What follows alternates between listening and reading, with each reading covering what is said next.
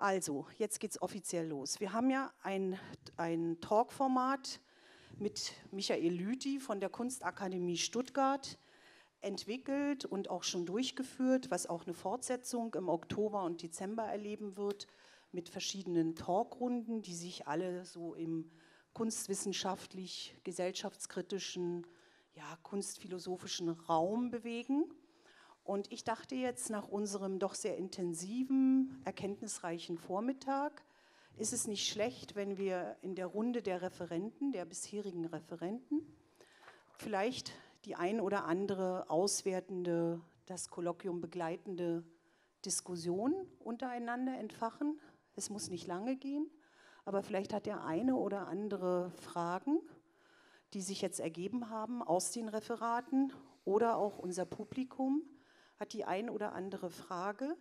Ähm, ich würde beginnen mit der Frage an die Runde, nach dem, was wir jetzt gehört haben an bedrohlichen Zukunftsszenarien, an ja, geplatzten Utopien, welche Rolle hat jetzt tatsächlich die Kunst in den aktuellen Diskursen? Vielleicht kann man dazu noch mal etwas sagen. George hat sich schon positioniert, aber mich würde im Kontext dessen weil wir ja gestern relativ sprachlos waren bei der Frage, nochmal eure Haltung dazu interessieren.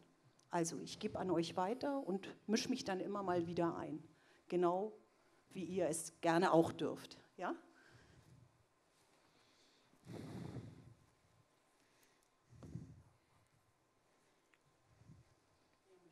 Also bevor wir hier in Sprachlosigkeit versinken, äh, mache ich mal den Anfang, weil ich ja quasi der Kunstfernste hier bin, äh, qua Profession einfach. Und, ähm, und ich ähm, jetzt von meiner eigenen Erfahrung ausgehend ähm, meiner, mein, mein, einfach der letzten 40 Jahre, in denen ich irgendwie in dieser Welt unterwegs bin mit manchmal offenen Augen und äh, mich einfach als Laie sehr für die Künste interessiere, mehr noch eigentlich äh, die, die äh, Künste brauche wie den Grüntee morgens, äh, damit es mir einigermaßen gut geht. Äh, ich ohne das also überhaupt nicht leben kann. Ähm, ich die Diskussionen, die also um die Künste und auch innerhalb der Künste geführt wurden, äh, immer ähm, wahrgenommen habe als äh, Positionierungen zu X. Das fing in den 70er Jahren an äh, mit äh, der Positionierung der Künste zur Politik und zum, äh, zur ähm, Post-68er äh, politischen, substanziellen Veränderung der Gesellschaft. Das ging in den 80er Jahren weiter mit äh, der Rolle der Künste in dem postmoderne Diskurs, der Auflösung der einen großen Erzählung, was kann die Kunst dazu ähm, beitragen. Ähm, das äh, fing in den 90er Jahren an mit der Durchsetzung eben des Neoliberalismus, wo ich gestern Abend von gesprochen habe, und der Frage, wie verhalten sich die Künste zur Wissenschaft, und zwar zur Naturwissenschaft, nicht zur Geisteswissenschaft. Und jetzt wieder 20 Jahre später oder 15 Jahre später verhalten sich die Künste zum Anthropozän. Also in meiner ganz bescheidenen kleinen Lebensspanne von 40 Jahren haben wir vier Außenpositionen, zu denen sich die Künste verhalten sollen. Und, äh, und wenn ich, wenn ich äh, wenn ich das bedenke, dann, dann taucht erstens die Frage auf, warum hat eigentlich die Kunst immer dieses Bedürfnis, sich zu irgendeinem der Großprobleme, die gerade in gesellschaftlichen Diskursen verhandelt werden, in irgendeiner Weise zu verhalten. Ist das ein Minderwertigkeitskomplex? Ist das, äh, ist das ein, eine äh, Art Irrelevanz, Kompensationskompetenz oder, oder was passiert da eigentlich? Ja? Das Zweite, was, äh, und das ist jetzt wiederum auch eher eine, äh, also Sie merken, ich spreche eher persönlich, ja? eher, eher aus, meinem, aus meinem eigenen ähm, äh, Erleben. Ähm, äh, ich persönlich muss, muss sagen, ähm, dass ich äh, gerade auch in diesen vier, äh, in diesen vier Phasen Künst, diejenigen künstlerischen Beiträge immer am interessantesten finde, die genau diese Diskurse oder Dispositive, den Begriff der Narrative benutze ich nicht mehr, äh, weil der einfach vollkommen abgelutscht ist. Ähm, also bitte, also ich habe Moratorium, aber zu all, diesen, äh, zu all diesen Positionen, wenn die Kunst sich dazu subversiv verhält. Das heißt, wenn sie es unterläuft, wenn sie äh, das in Frage stellt und wenn sie andere Perspektiven, die aus einer theoretischen, begrifflichen, ähm, statistischen, ähm, experimentellen, naturwissenschaftlichen, philosophischen Positionen kommen, wenn sie die aufgreift und damit etwas macht, was in eine andere Richtung weist. Ähm, dann fand ich es immer am interessantesten. Ich behaupte keineswegs, dass sich damit die Aufgabe der Kunst erschöpft, ganz und gar nicht. Sie hat noch andere Aufgaben. Aber im Hinblick auf Ihre Frage würde ich sagen, ist das das Schönste, was sie tun kann. Mhm. Ja, George, möchtest du ergänzen? Ja, also weiterleiten. Also das sind natürlich ganz hochinteressante Ansatzpunkte. Also zuerst mal zu diesen vier Positionierungen der Künste innerhalb der letzten Jahrzehnte. Ja. Äh, das kommt, glaube ich, aus einer großen Betroffenheit heraus. Natürlich ist es ja so, dass die Künste kommunizieren wollen. Also wir sind ja nicht irgendwie Hermetiker irgendwo in einem Glaskäfig, die, die nicht irgendwie mit der Gesellschaft in Kommunikation treten wollen. Also die Künste wollen kommunizieren. Deshalb nehmen sie natürlich irgendwie eine Haltung ein und eine Stellungnahme zu diesen Fragen. Äh, aber genau da besteht auch eine große Gefahr, zum Beispiel der Instrumentalisierung durch andere Partikularinteressen. Mhm. Aber dann kommt der wirklich wichtige Punkt, oder? nämlich eben wie kann man Freiheit, und das wäre jetzt das Schlagwort, wie können wir denn diese Freiheit kreativ anwenden? Weil es geht ja nicht darum, dass wir uns jetzt bei den Naturwissenschaften oder in der Politik oder wo immer anbieten, sondern eben quasi als Undercover Agents subversiv zum Beispiel arbeiten. Das ist die Strategie, die ich selber betreibe, wenn ich an diesen Konferenzen bin, egal Klimakonferenzen, irgendwelche Umweltkonferenzen, wo meistens eigentlich nur Lobbyisten und Politiker sind. Das hat einen subversiven Aspekt. Und aus diesem subversiven Akt, der oft auch damit definiert ist, dass sie wissen gar nicht, wer ich eigentlich bin, das ist auch so ein Freiraum, der das mir dann Manchmal eben genau. Hilft das. Bitte? Manchmal hilft das. Ja, das hilft eben extrem. Oder? Und, und äh, also ich denke zum Beispiel jetzt an eine Ministerialsitzung an der Klimakonferenz in Bonn, oder? die wussten keine Ahnung, wer ich war. Die haben gedacht, ich bin Mitglied einer Delegation von sowieso. Oder? Genau, das ist ein Freiraum. Oder? Und aus dieser Subversion raus dann Strategien entwickeln, wie können wir mit Kreativität quasi gegen Vorschläge, Vorschläge oder Gegenpositionen äh, formulieren. Das ist das, was Sie gerade gesagt haben. Das finde ich extrem interessant. Äh, ich verstehe mich innerhalb genau von diesem Kontext über all die Jahre. Aber auch mit dieser Ambition, das überhaupt zu machen. Der Trick ist, wie kann man subversiv arbeiten, wenn man nie zugelassen wird? Dort ist ein das, riesiges Vakuum. Das ist jetzt ein, finde ich, absolut interessanter und entscheidender Punkt, weil ich frage mich, ich bin seit über zehn Jahren in der Schweiz, warum es ein WEF gibt für die Wirtschaft in Davos und kein Kunst-WEF.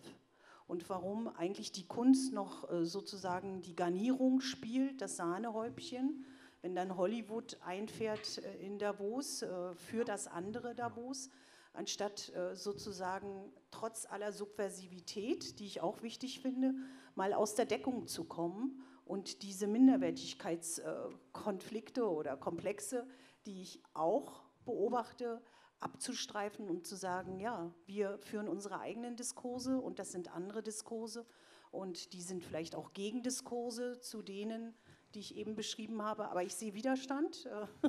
Herr äh, Hagner? Darf, darf ich hm? nur eine Rückfrage ja, stellen? Als Laie wiederum. Ich dachte immer, äh, es gibt sowas in der Schweiz, was das Pendant zum WEF ist. Äh, die Basel. Art Basel. Ja. Was Okay. ist denn das dann? Ich glaube, das hat, hat aber ein bisschen eine andere Funktion. Bitte? Ich glaube, dass die wirklich eine andere Funktion hat, dass das auch ein Instrument des Kunstmarktes ist, äh, mehr als alles andere. Und ich glaube, so etwas Weltweites, was wirklich auch äh, Diskurse vorantreibt, ja, eine Pionierfunktion übernimmt, äh, ich glaube, da könnte man schon noch mal nachladen. Aber ja. das WEF macht genau das Gleiche. Also Ja. Äh, man sieht es ja in den grandiosen Arbeiten von Jules Spinach, ja? also Mhm. der ja nun der, der tollste äh, quasi Beobachter, subversive Beobachter Mhm. äh, äh, von Davos ist. Mhm. Soweit ich das beurteile, also, also für mich, soweit ich das äh, äh, sehen kann. Und, und, und insofern, also, wenn man, wenn man quasi die Art Basel kritisiert, was ja vielleicht mit guten Gründen passiert, ähm, dann ist dasselbe aber doch für das BEF auch zu sagen, oder? Unbedingt, ja. Ja, und man könnte natürlich auch die Art Basel kapern, ne? wenn man äh, wieder mehr zum Yes. Straßenkämpfer Kämpfer werden würde, könnte man natürlich auch äh, während der Art Basel diese Diskurse anschieben. Was, was meinen die Herren äh, der Uni Bern? Ähm, Also, wenn ich, wenn ich kurz Ja. Äh, antworten kann. Also ich finde erstmal den äh, Vorschlag oder auch die Diagnose von Michael Hagner und den Vorschlag Subversion total überzeugend. Äh, und ich glaube, das würde ich auf jeden Fall äh, ähnlich sehen. Aber ich würde noch was hinzufügen. Ich glaube, es gibt auch so eine immanente Formulierung von Politik und von Ethik in der Kunst. Und ich glaube, da müsste man wirklich historisch ein bisschen weiter ausholen, was wir ja eben mit dem ökologischen Imperativ vielleicht auch teilweise tun, wenn wir das als eine äh, Erweiterung des kategorischen Imperativs verstehen. Äh, und ich denke mal, das kann man wirklich gut verstehen in der Zeit um 1800. Da wäre es eben dieses Verhältnis der Dichtung zur Philosophie gewesen. Die bildende Kunst hat da noch nicht so eine starke Rolle gespielt, denke ich, weil die Malerei, Caspar David Friedrich oder so, noch nicht in diesem konkreten Verhältnis stand, wie, wie das eben war zwischen den Romantikern in der Literatur oder Hölderlin und, und den, äh, klassischen Philosophen aus der Zeit. Und da ist eben, glaube ich, ähm, die Problematik, und die werden wir, glaube ich, nicht los, ist, dass die Kunst dann später im 19. und 20. Jahrhundert, wo sich dieses, sozusagen dieses poetische Potenzial auf andere Bildkünste erweitert hat, auf den Film erweitert hat, dass die einfach ähm, ihr ethisches und politisches Potenzial nicht expliziert. Oder anders, also, oder, oder was heißt Explikation dann dort? Ne? Wir haben beim ähm, kategorischen Imperativ und beim ökologischen Imperativ haben wir eine Explikation. Das ist ganz klar, was Jonas da schreibt. Ne? Das ist, da gibt es keine äh, Verständnisprobleme. Und wir haben bei ähm, George Steinmann äh, eine poetische Dimension. Wir haben das noch bei anderen Arbeiten noch viel, viel stärker. Er arbeitet ja sehr aktivistisch. Und das ist, glaube ich, ein Problem, was man erstmal so schnell nicht los wird. Und ich glaube, ähm, was da aber interessant ist, ist eben auch ein Vorschlag, der aus der Romantik kommt, Kunst und Kunstkritik zu, zusammenzudenken. Ja. Und da eben, und das ist ja im Prinzip auch, was wir, was wir, was wir aus der Kunstgeschichte äh, zum Teil tun, also ähm, nicht sozusagen ähm, äh, nur sozusagen einen historischen Kontext zu liefern, sondern wirklich auch zu intervenieren und eben einen, einen interessanten Dialog herzustellen zwischen dem ähm, ethisch-politischen Potenzial der Kunst und dann einer Explikation. Aber das ist, das ist eine Schwierigkeit. Ich glaube, die werden wir nicht los. Ne? Und gleichzeitig, also es ist, glaube ich, klar, dass es äh, dieses Potenzial gibt. Äh, also wir hatten gestern über diese äh, Kafka-Zeichnungen gesprochen, die jetzt wieder entdeckt wurden. Mhm. Ich glaube, viele würden, würden, wären der Ansicht, dass Kafka, Kafka der, der, beste Jurist oder Rechtsphilosoph oder Theologe des 20. Jahrhunderts war, aber natürlich ist es nicht explizit. Aber was der macht in den Texten über diese Fragen, das ist, das ist so tiefsinnig, aber es ist nicht expliziert. Ne? Das, macht dann, das müsste dann eine andere Instanz machen, eine, eine Theologie, eine Rechtswissenschaft oder. Ich glaube, das ist erstmal nicht so leicht, weil die Gesellschaft natürlich Explikationen verlangt und ähm, okay. klare Statements, ne? oder? Ähm, wenn Sie nicht möchten, Herr Schneemann, oder? Doch, doch. Doch, genau. Doch, doch. Sonst Ich- würde ich dann zu Rika. Rika, du kommst dann noch Ach so. dran. Nein, nein, gerne. nein, nein, nein, nein. Äh, Rika hat dann ihren großen Auftritt, weil Rika ja beide Positionen vertritt. Ne? Also Künstlerin und auch jemand, der, äh, wenn ich das alles richtig verstanden habe, äh, unterrichtest du ja auch. Ne? Ähm, aber nein, Herr Schneemann, ich wollte Sie jetzt nicht unterbrechen. Hm? Nein, ich würde gerne zur, zur ursprünglichen Frage nochmal zurückkommen. Also ähm, wir sind so bei persönlichen ähm, Positionierungen und tatsächlich äh, würde ich unterschreiben, dass es um Praktiken geht und dass diese Praktiken, ob sie nun subversiv sind, ob sie einen Bezugspunkt haben, die sind nicht von der Kunst nur ausschließlich selbst formuliert und ähm, als Anspruch genau. aufgestellt, sondern tatsächlich werden gesellschaftlich verhandelt. Und äh, also sozusagen, das ist nicht eine ähm, unpolitische freie Entscheidung, sondern das spiegelt sich eben in Formaten der Kunstausbildung, es spiegelt sich in Formaten äh, einer Art Basel. Das sind ähm, mächtige äh, Strukturen, die dort Erwartungshaltung, Rollenzuweisungen etc. Äh, vornehmen. Und grundsätzlich ähm, sind diese auch wechselnden, auch fremdbestimmten äh, in Bezugssetzungen oder ja, sozusagen, was eben angesprochen worden sind, ähm, finde ich die sehr produktiv. Und erst dann kann ich auch subversiv sein. Wenn ich subversiv bin, ohne dass ich gegen einen Anspruch ähm, mich ausspreche, wenn ich sozusagen sage, die Kunst hat keine, äh, keinen Bezug zur Gesellschaft, zur Politik, äh, zur Wirtschaft etc. Es ist ein völlig in sich abgeschlossenes Feld. Das Modell hatten wir ja mal. Ähm, dann, ähm, ja, ich, das finde ich nicht mehr interessant, muss ich tatsächlich, äh, muss ich tatsächlich sagen. Mhm. und das Subversive an sich, kann man natürlich sagen, ist auch eine sehr strapazierte, äh, wie soll man sagen, ein strapaziertes äh, Kriterium. Nicht? Also es gibt so ähm, bei Pro-Seminararbeiten das Phänomen, wenn man nicht mehr weiter weiß, dann äh, letztendlich ist ein Werk immer subversiv. Nicht? Und dann sagen wir, also dann bitte konkreter, also, ja, oder gebrochen oder nicht so ja, das Gebrochene. Es ist, äh, ist eine Aussage, aber die ist in sich gebrochen. Und diese Form der Reflexion, die ist für mich heute durchaus zu verorten in den, in den Praktiken. Äh, und dort diese Widersprüchlichkeiten, ähm, das Scheitern, äh, interessanterweise haben wir das ganze Kolloquium über, überhaupt nicht über das Scheitern gesprochen, was eines der ähm, wirklich spannenden Konzepte ist, was das heißt.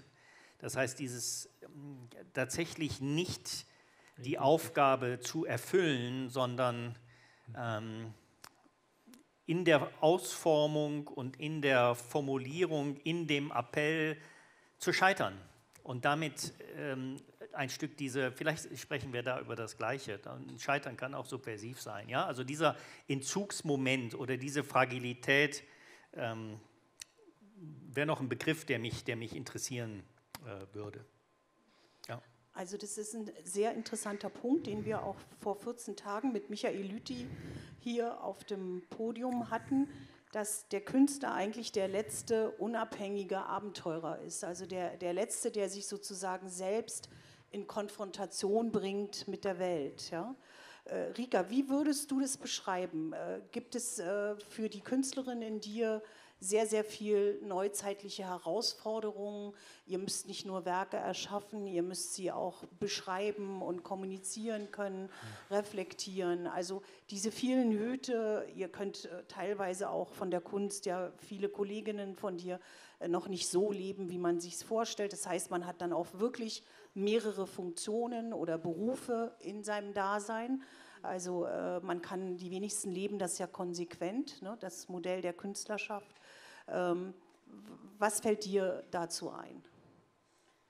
Also eigentlich ganz am Anfang habe ich schon daran gedacht, ähm, dass es wurde jetzt mehrmals erzählt, auch wieso die Künste eigentlich was bring, beibringen können, also mittragen, auch, auch jetzt in unterschiedlichen äh, Arten und, und da die Minderwertigkeit ähm, ist eigentlich für mich nicht spannend zu diskutieren, sondern ähm, ich, vielleicht, vielleicht, muss ich noch was von meinem Background erzählen. Ich komme von einer Naturwissenschaft Familie. Mein Vater ist Physiker, meine Schwester ist Biochemikerin und arbeitet in der Virologie.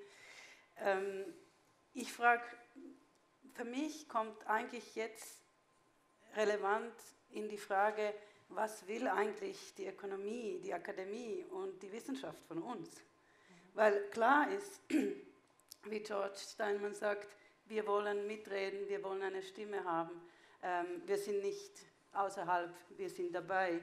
Aber jetzt kommt ganz viel auch zu uns. Also einerseits durch diese Akademisierung und äh, wie wir angefangen haben mit Eid to Eitis äh, Vortrag gestern, wo ähm, Latour auf die Bühne kommt mit dem Theater. Das ist eigentlich der Beispiel, wo, wo die Wissenschaft und die Theorie durch die Kunst eine Stimme bekommt, weil die Sprache, äh, das Publikum zu erreichen in einer Spezialität, in der Sprache der Wissenschaft, da gibt es die Lücke, es gibt diesen Gap. Und, und äh, vielleicht ist ja dann auch, dass ich manchmal spüre, dass, dass es kommen auch Wünsche, dass die Kunst etwas kommunizieren kann, wo die Sprache äh, nicht immer zugänglich ist oder wo dann halt die mhm. Wahrnehmung und die mhm. Erfahrung und und die Übersetzung. Und darum, ähm, ja, wir können über Minderwertigkeit sprechen, aber nee, wir können es auch umkehren. Vielleicht ist es auch eine Zeit, wo gerade durch diese, diese Potenzialen, die schon in der Kunst waren und die, die Politisierung die Aktiv des Aktivismus, das Scheitern mit dem Anthropozän ähm, eine, eine, auch ein, ein, eine Praxis ist, die, also wiederhole natürlich hier, aber da, da stimme ich auch zu. Und, und ich merke, dass das auch so eine Entwicklung da ist. Weiß nicht, ob das jetzt historisch, vielleicht gab es es auch schon, aber, aber ich merke, dass irgendwie jetzt auch sowas passiert und dass es Theoretikerinnen spezifisch sagen, die Kunst kann das was. Und wir nicht Künstlerinnen immer nur sagen, okay. wir, wir ändern die Welt. Nein, eigentlich wir sagen, wir ändern nichts, aber nur im, im, im Kleinen oder? George, ganz kurz, der Herr Steinmann, ich habe es gehört, das Grummeln, äh, wollte kurz etwas dazu sagen? Oder? Nein, nein, ich ja? habe nur eine eigene Frage noch. Ah, okay, okay, dann äh, George, ganz kurz, du wolltest ja, das kommentieren? Ganz kurz einfach das Thema der Kommunikation, ne, mhm. was jetzt meine Kollegin aufgegriffen hat. Das mhm. finde ich natürlich ganz äh, explizit wichtig, mhm. weil es geht eigentlich um ein Vakuum oder einen Gap, wie du das gesagt hast, oder? Den ich immer und, und immer wieder spüre zwischen verschiedenen Formen von Wissen.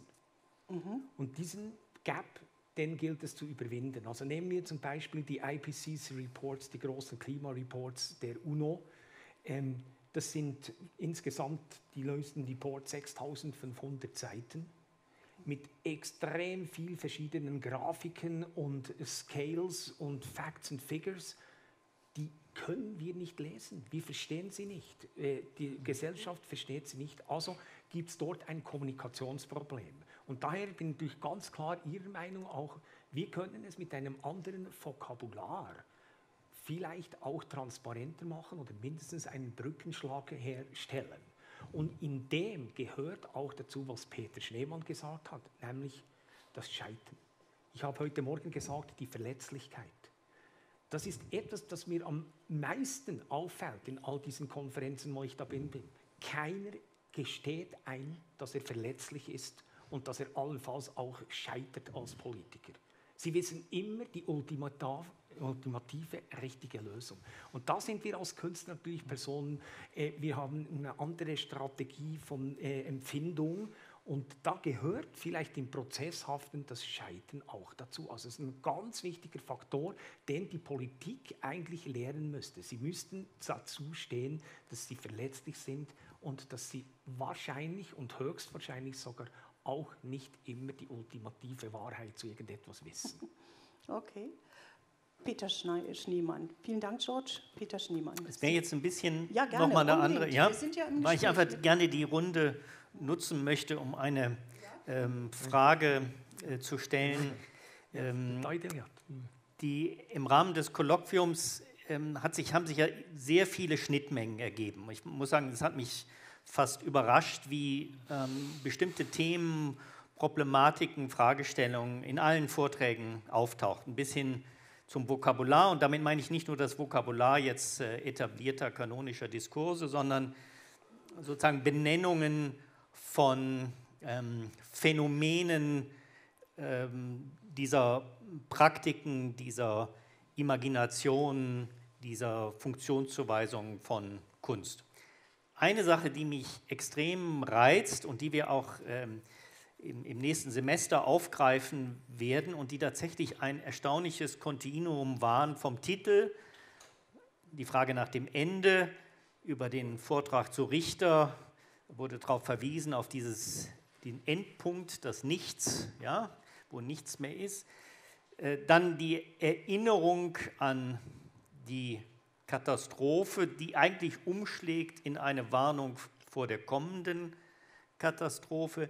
Die Bildmedien, die als Found Footage aus der Kulturgeschichte aufgerufen werden.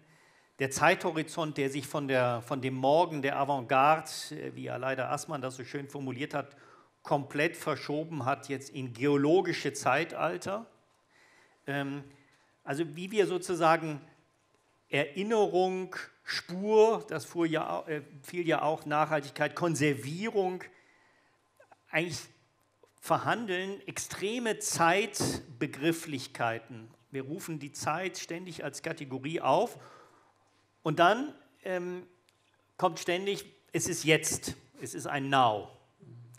Ähm, also solche Phänomene, so anachrone Konstruktionen, die in, sehr schön in dem Vortrag von äh, Toni Hildebrand auch deutlich wurden. Ja, sozusagen diese Erinnerungskultur, die einer Zukunft dienen soll. Oder anders gesagt, die Utopie von morgen verhandeln wir in Bildern, Ästhetiken, die super retro sind. Ja, also ich, ich finde das tatsächlich eine verrückte Geschichte. Es gibt jetzt viel sozusagen, äh, wenn ich nochmal Dokumenta erwähne, da ging es eigentlich auch um vergangene Utopien der 60er Jahre, an die erinnert worden, die Künstlerinnen und Künstler verstorben, aber eigentlich als Zukunftsmodell. Also das interessiert mich auch sozusagen als wissenschaftliches, wissenschaftsgeschichtliches Paradigma, dieser enorme Aufruf von Zeitlichkeit als Dimension. Wir müssen jetzt handeln. Es ist fünf nach zwölf. Aber wir erinnern uns und schauen uns an, welche Spuren wir in der Vergegenwärtigung von Katastrophen, ich weiß nicht, ob das deutlich geworden ist, aber diese fast Kakophonie von, von Zeitskalen, das wäre so eine Frage in die, in die Runde, weil es tauchte überall ständig auf. Naja, gerade ist das Buch von, von äh, meinem Kollegen und befreundeten Kollegen äh, Philipp Sarrazin erschienen, 1977 ähm, das zu Recht äh, große Aufmerksamkeit erfährt und, äh, und besprochen und diskutiert wird. Und äh, Sarrazin macht genau das. Er nimmt das Jahr 1977 als eine Art Schmelztiegel, in, der, ähm, ähm, ähm in dem also ähm, bestimmte ähm, Tropen und bestimmte Diskurse der Moderne aufhören und, und etwas Neues anfängt und damit Keimzellen zu dem Denken, zu der Mentalität ähm, entwickelt werden, die unsere heutige Gegenwart ausmachen. Und ähm, was dann daraus als, äh, als ähm, Substanz übrig bleibt, um dann in die Zukunft zu gucken, ähm, das muss dann eigentlich jeder mit sich selbst ausmachen.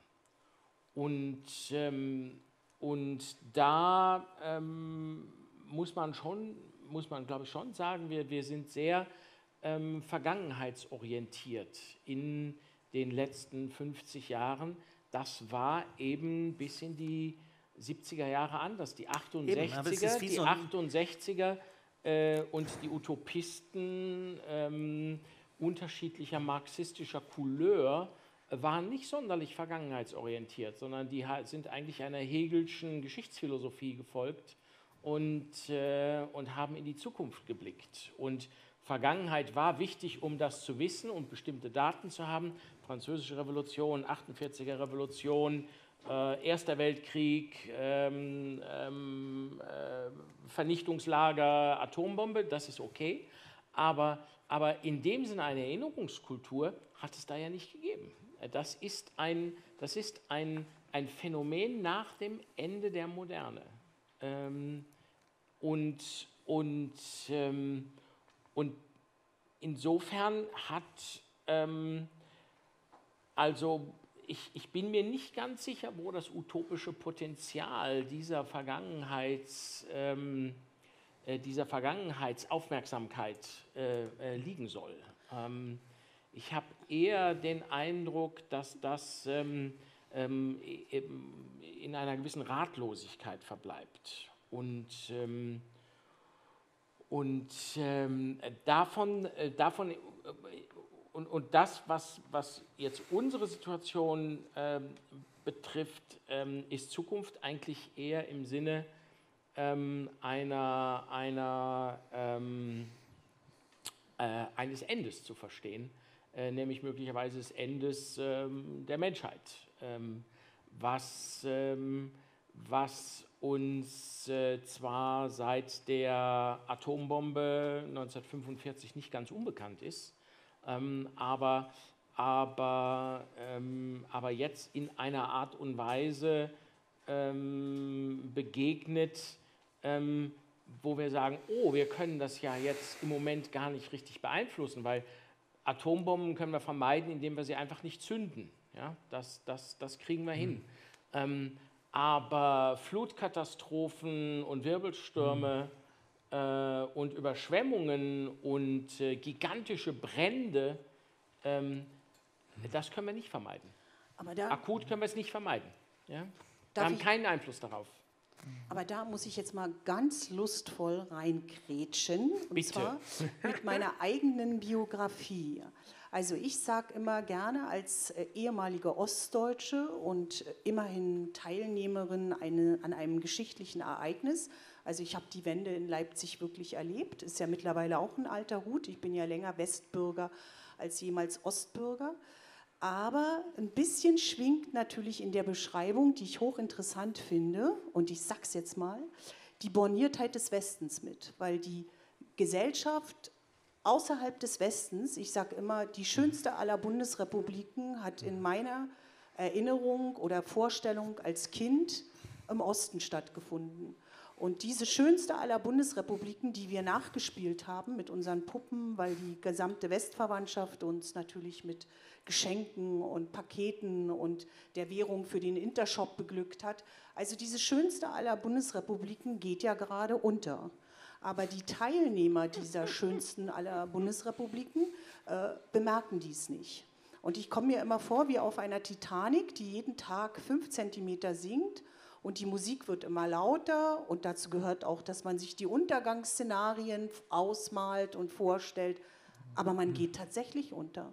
Und es geht wirklich um den, den Kampf um neue Utopien, um eine Zukunft. Und es werden in meinen Augen gesellschaftlich ganz, ganz viele Dinge nicht verhandelt, die aber stattfinden, die existent sind. Zum Beispiel? Also ich glaube, dass wir gerade große politische Verwerfungen äh, erleben, große politische, äh, wie sagt man, die Welt wird gerade neu aufgeteilt, äh, ohne dass ich das äh, jeden Abend in den Nachrichten äh, quasi erklärt bekomme, geschweige denn darüber gesprochen wird.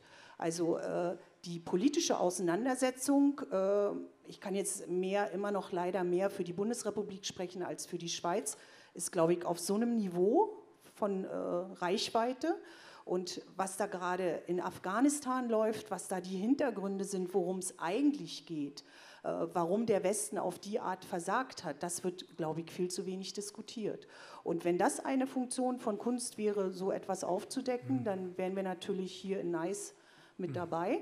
Aber ich wollte nur sagen, das ist, äh, glaube ich, eine Position, die man wirklich als Gesellschaft nur formulieren kann, wenn man schon ganz, ganz lange keine Krise mehr erlebt hat. Ja? Wenn man schon ganz, ganz lange sich nicht mehr vorstellen kann, dass alles, was wir erleben, auch ganz anders sein kann, ganz anders ausgelegt werden kann. Also Schlusssatz dazu, mit welcher Leichtfertigkeit wir manchmal hier in Nice Diskussionen haben mit Begrifflichkeiten das geht bei mir persönlich schon bei dem Wort Ideologie los, äh, mit denen so um sich geworfen wird, die alle für mich ganz anders besetzt sind. So wie wir gedacht haben, im Osten 68 ist eine tägliche Straßenschlacht, wo es um Leben und Tod geht. Weil wenn wir uns bestimmter Literatur genähert haben, dann äh, wurde man entweder äh, von der Hochschule verwiesen oder bekam ein Disziplinarverfahren.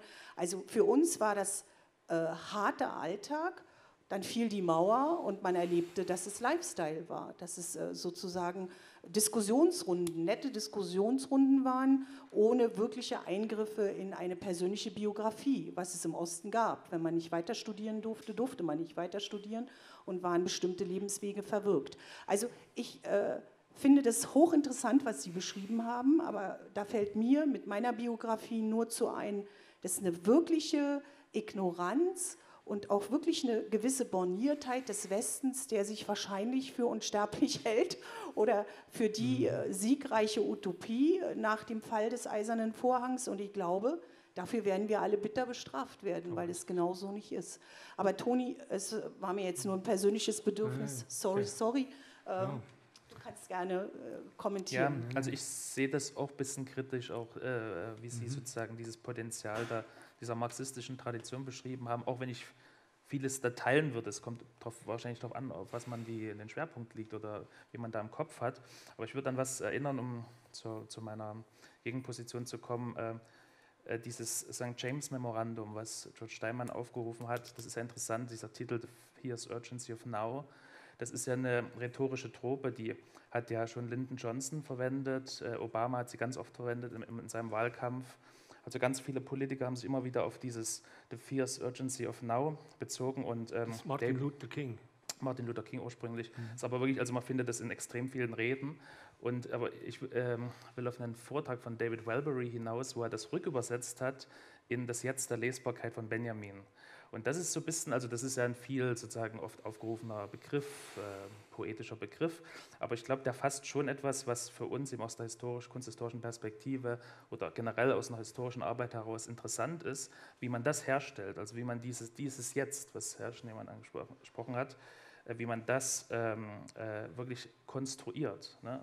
Und äh, das Modell von, von Benjamin ist ja letztlich, dass es sozusagen in der Vergangenheit gibt es ein Repertoire, das nennt er diese historische Empirie, da gibt es bestimmte Extrempunkte, die werden durch die Arbeit des Historikers, der Historikerin, werden die zu einer Konstellation zusammengesetzt und die erzeugt ein Jetzt der Lesbarkeit, aber nur, wenn sie das tut. Das ist dann natürlich sozusagen, wir, wir würden das dann eben äh, kritisch beurteilen im Hinblick auf Ausstellungen oder auf Werke, die sich mit der Vergangenheit auseinandersetzen. Und nur wenn das gelingt, ist das natürlich auch überzeugend. Wir haben, wir haben äh, historistische Ausstellungen gesehen. Ich erinnere mich immer an eine von Yoko Ono im Museum of Modern Art. Da war alles tot, da war nichts aktiviert. Da, äh, da war kein Jetzt der Lesbarkeit da, aber das ist ja wie äh, so, so die tägliche, tägliche Frage aller Kuratoren und Kuratorinnen, mhm. wie man dieses vergangene Potenzial neu zur Konstellation zusammensetzt, damit es eben in der Jetztzeit ankommt. Ne? Also, und damit äh, sozusagen äh, die Fierce Urgency of Now ähm, erzeugt. Und natürlich hat nicht jedes äh, historische Material dieses Potenzial. Das muss man selber wie äh, verstehen in, in der Arbeit äh, in der historischen Arbeit oder kuratorischen Arbeit oder auch künstlerischen Arbeit, wenn man sich mit, ähm, mit der Vergangenheit auseinandersetzt, was auch kein Imperativ ist natürlich. Ne? Also man muss sich nicht mit der Vergangenheit auseinandersetzen. Ne? Ich verstehe jetzt nicht mehr genau, was das Problem ist. Nee, nee, es gibt, sagen. Also, es gibt nur Beschreibungen. Äh, weil mhm. weil ähm, die, die äh, die Borniertheit ist natürlich völlig richtig. Ja, äh, in dem Moment, wo man von Erfahrungsfragmenten äh, ähm, ähm, und Erinnerungen ausgeht, ist man borniert. Weil man ist eben äh, entweder in Afghanistan oder im äh, Kanton Zürich aufgewachsen. Ja? Und man ist eben entweder in Kreuzberg oder auf der anderen Seite der Mauer aufgewachsen. Das bildet komplett unterschiedliche Erfahrungsräume und jeder einzelne Erfahrungsraum schließt andere Erfahrungsräume aus. Und, äh, und deswegen sind wir alle borniert. Ja? Ähm, das Natürlich, ist, finde ich, noch nicht so interessant. Aber interessant ist die Frage, ähm, welche Angebote haben wir denn noch äh, im, im Rucksack, um vielleicht darüber hinwegzukommen. Und, äh, und der Universalismus der Aufklärung war ein Angebot. Mhm. Äh, das äh, Kantsche Postulat, dass man als öffentliche Person eben nicht mehr zu äh, seiner Schwester oder zu seinem Ehemann oder zu den Kindern äh, spricht, sondern potenziell jeden Menschen damit anspricht, waren mal Angebote, um mhm. also genau äh, diese Borniertheit zu überwinden.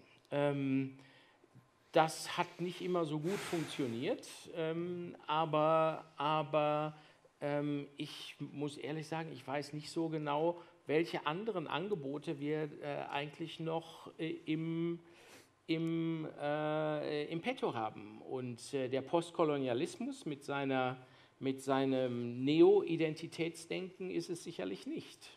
Also bevor ich an George weitergebe, Sie haben mich einfach vorhin auf die Idee gebracht, dass diese blinden Flecken, ja, die existieren, die wir halt nicht zukunftsorientiert formulieren können, sondern immer in der Rückschau. Da gibt es ja diesen berühmten Engel, diesen Benjaminschen Engel, äh, der immer nach hinten schaut.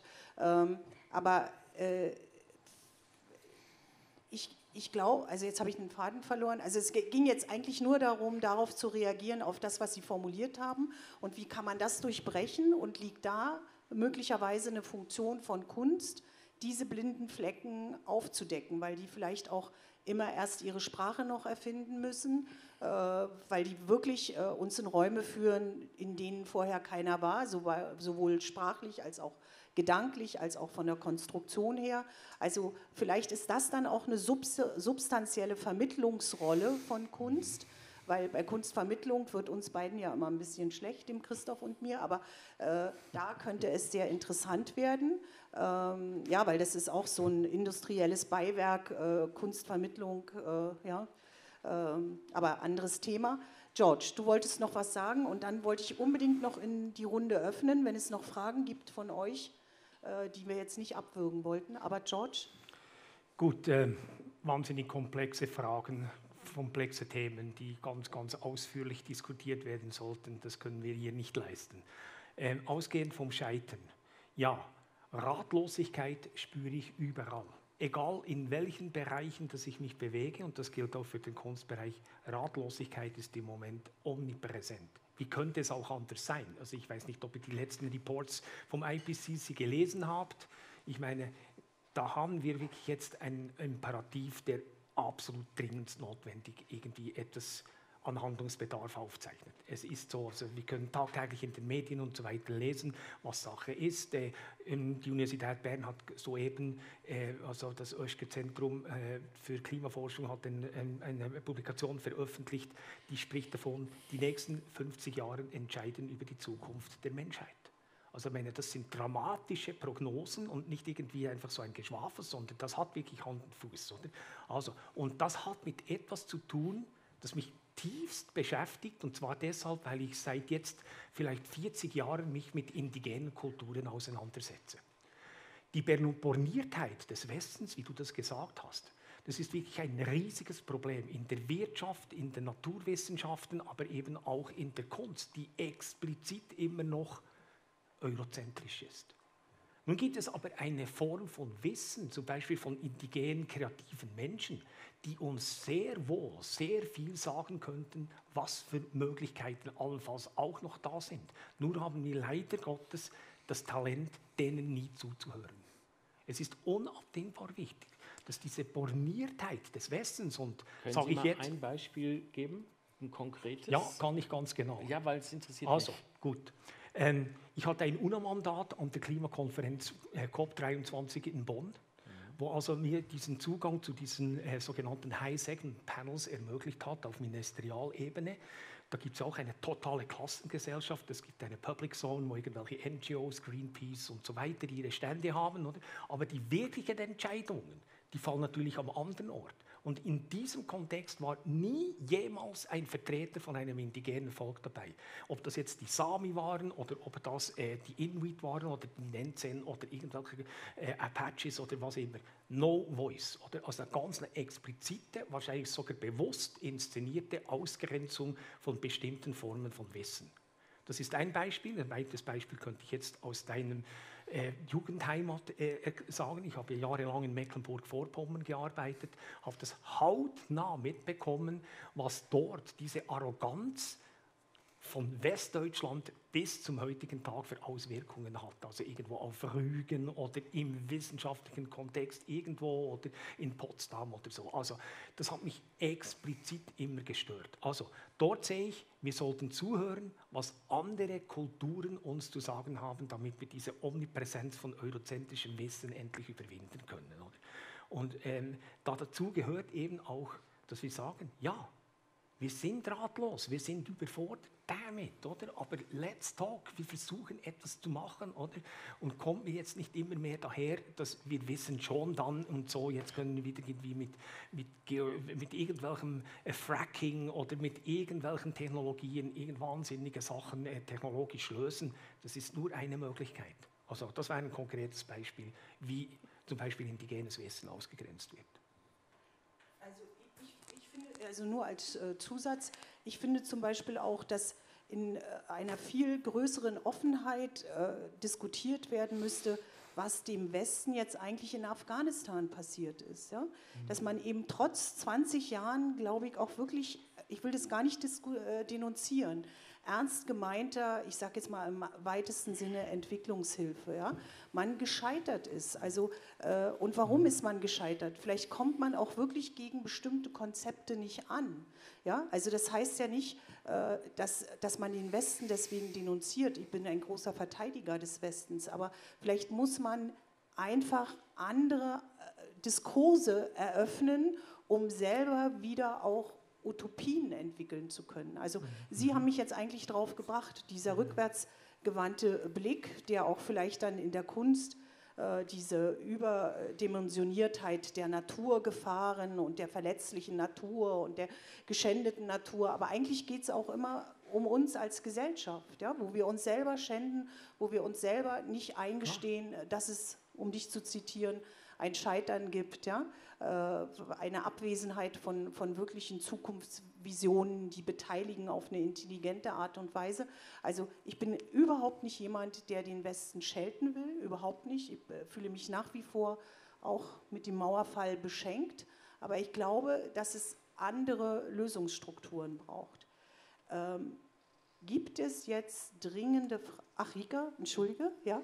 Ja, es gibt etwas, was, mich, was ich schon vorher wollte also Sabine, ich wollte eigentlich dich noch ein bisschen in das Gespräch mitbringen, äh, in dem zu fragen, also wir haben jetzt diese größeren Themen hier von, von Kunst und Wissenschaft oder was die Wissenschaft von, wie sie sich zu Kunst, verhaltet, Kunst haltet. Ähm, du hast jetzt gerade hier eine Ausstellung kuratiert, also äh, wie siehst du diese Fragen in Bezug zu der Ausstellung. Also, ja, was passiert da? Was ist dein, was hast du für ein Ergebnis oder ein Gefühl, was äh, Erfahrung gemacht? Mhm.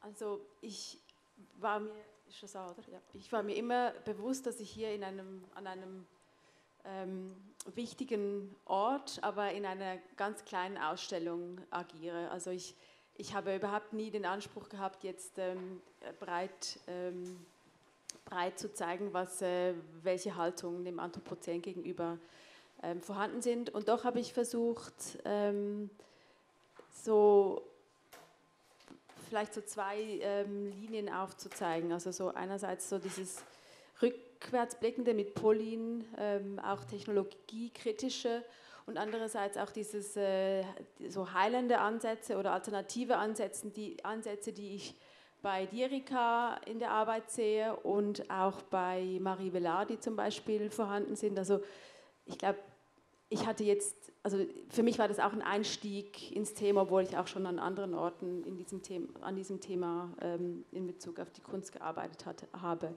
Also ich,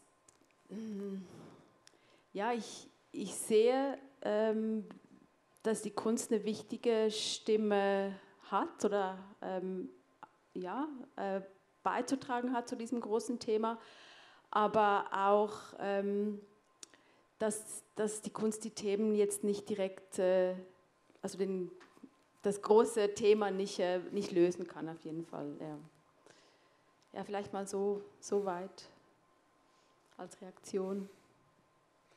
Danke.